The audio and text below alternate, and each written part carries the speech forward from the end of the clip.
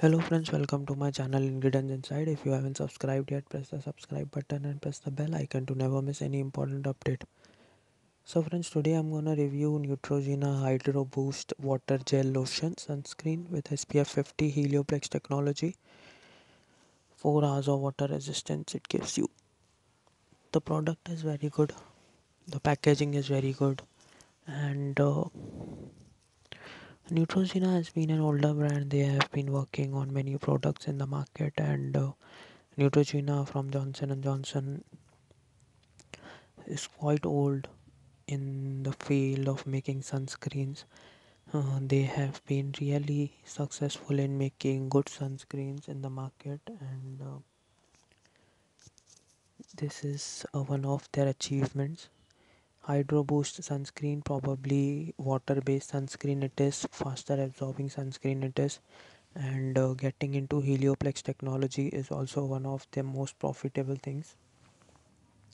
All in all the product is very good and uh, they have really made nice products in the market. Neutrogena has done a really great job. They have uh, really made nice products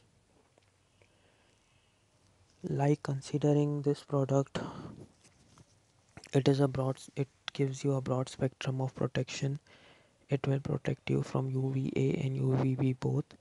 The SPF is pretty decent. SPF 50 is a decent SPF all in all a nice product and all in all uh, a nice uh, touch a nice sunscreen hydro boost sunscreen. Neutrogena has done a really great job in the matter of sunscreens.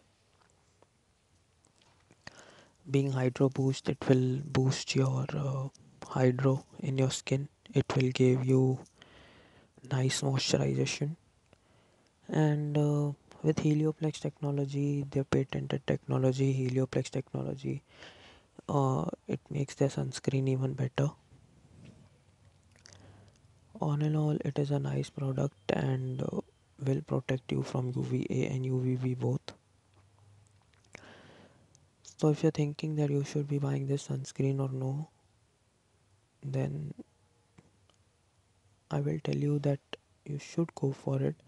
It is a nice sunscreen and it is uh, definitely recommended from my side to buy this sunscreen